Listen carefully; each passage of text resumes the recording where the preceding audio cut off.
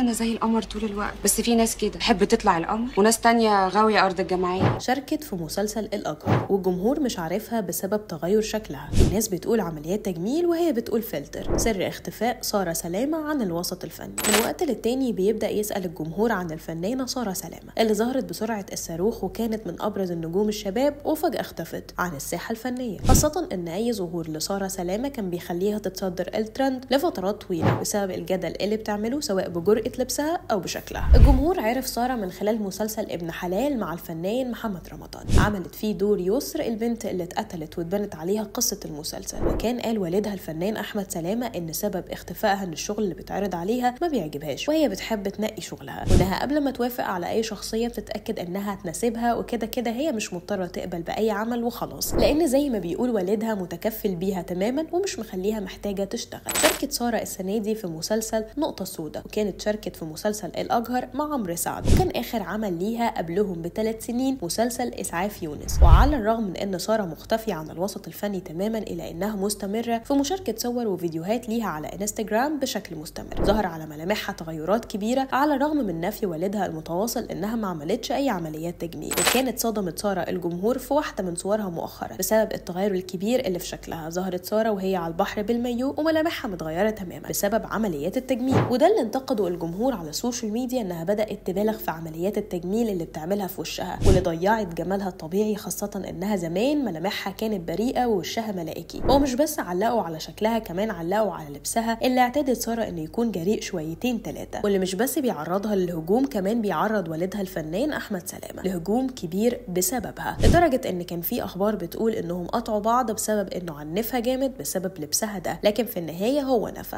أول اختفاء طويل لسارة كان في 2018 رجعت بعدها في 2021 بمجموعة صور على إنستجرام. ظهرت وقتها سارة بملامح مختلفة تماما خدود منفوخة وشفايف كبيرة وملامح أكبر من سنها. وقالت وقتها ما عملتش عمليات تجميل وأول عملية تجميل عملتها هي تجميل الذات والنفس. ربنا يشفي كل مريض. قالت سارة في تصريحات تلفزيونية الصور اللي نشرتها ما فيهاش تجميل ومش عارفة إيه سبب الهجوم عليها بس إنها من ساعة ما طلعت وكل شوية بيطلع عليها إشاعات كتير وإن هي لو عملت عملية تجميل هتقول ومش هخاف من حاجة لأن لو في حاجة مضايقاني في شكلي هغيرها ومش هتكسف. وأكدت إن عمر ما كان هدفها إثارة الجدل بالعكس كل ده فلتر مش أكتر. ولو أي حد استخدمه هيغير شكله. وعن الانتقادات اللي بيتعرض لها الفنان أحمد سلامة بسبب شكل ولبس سارة قال إنه اتكلم معاها كتير وطلب منها تبطل التصرفات دي لأنها مش مناسبة مع المجتمع العربي من غير ما يتخانق معاها. وضح لها إن الأفكار اللي هي شايفاها هي وجيلها صح تنفع بره لكن هنا مش في المجتمع الشرقي ده. وأكد إنها وعدته إنها مش هتعمل كده تاني وهتحاول تاخد بالها وما تسيرش الجدل